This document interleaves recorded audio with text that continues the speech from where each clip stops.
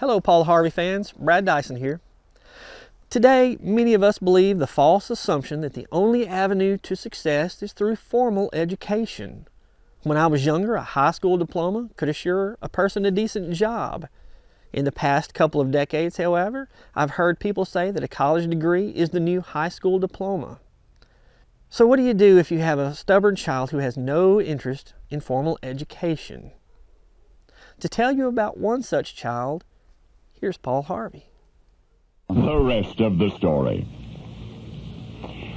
Cornelius Vanderbilt, born not 20 years after the Declaration of Independence, was a stubborn child. He refused to attend school past the age of 11.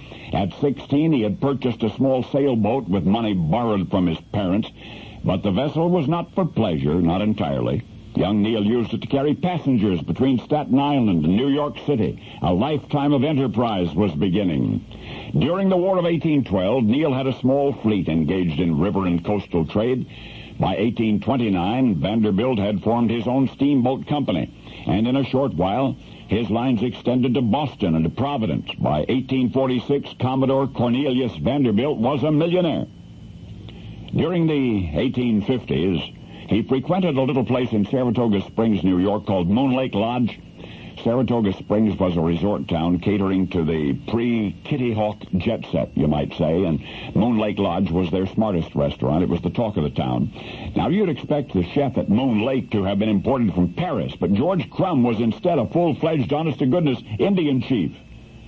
And though Chief Chef Crumb was schooled in international cuisine, New recipes are always being created, and probably that's how the latest culinary rage from France escaped him. This delicacy, a favorite of the elite, was called French fries. French fried potatoes. In those days, they were very, very French, relatively new, exotic, exclusive. And this is where Moon Lake's most distinguished customer comes in. Transportation tycoon Cornelius Vanderbilt. He, too, was quite familiar with international cuisine. He decided one evening to order a plate of French fries. But when they were brought in, Cornelius complained that French fried potatoes were sliced much thinner in Paris. He had just returned from Paris, and he knew these, uh, he told the waiter, were much too thick. Dutifully, the waiter returned the potatoes to the kitchen. Busy chef George Crumb thought little of it. Working at Moon Lake Lodge, he was not unaccustomed to the sometimes petulance of the well-to-do. George proceeded to slice and prepare another batch of French fries, thinner this time. But shortly after the plate left the kitchen, it was back again. They're still too thick, the waiter told the chef. Well, now that did it. This was 1853, and a couple of subordinates were attempting to wrest control of the company from Vanderbilt, so it had not been an easy year, or maybe there was just some other irritation that evening, but whatever the case, Chef George Crumb had had enough. With an I'll fix him look in his eye, George sharpened his knife to a razor edge, seized a potato, and began slicing it paper thin. He then dipped the slices into boiling fat, and he salted them to excess, and he personally bolted through the kitchen door with a plate of brown brittle shavings. The waiters tried to stop him, but it was too late. George had made it to the Vanderbilt table with what appeared a most overdone, oversalted, unpalatable offering. But Neil liked it. He liked it. At least he said so. Maybe he just felt guilty about having complained so vigorously, but Commodore Vanderbilt said he liked it, and that was enough endorsement to win for this dish a permanent place on the prestigious menu of the Saratoga Inn. The American variation of what the French called fries.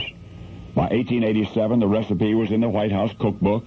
After potato peeling and slicing was automated in 1925, Chef Crumb's innovation was available and wanted worldwide. Cornelius Vanderbilt's railroad empire served him well, but the tasty legacy he left us, the byproduct of his moment of petulance in 1853, the overcooked revenge of an overwrought chef, was the potato chip. And now you know the rest of the story. Oh, potato chips, one of my favorite things. I think we've all been in a restaurant and overheard a grumpy customer like Mr. Vanderbilt. Usually, unlike in this broadcast, no good comes from the grumpy customer. Everyone in the vicinity of the grumpy customer becomes grumpy themselves. Did you know that grumpiness is contagious? A single irate person under the right conditions can turn the most calm, peaceful, ordinarily law abiding citizen into near rioters I guess you learn something new every day. Well, I'm going to go have a bag of potato chips. So thank you for listening. I'm Brad Dison.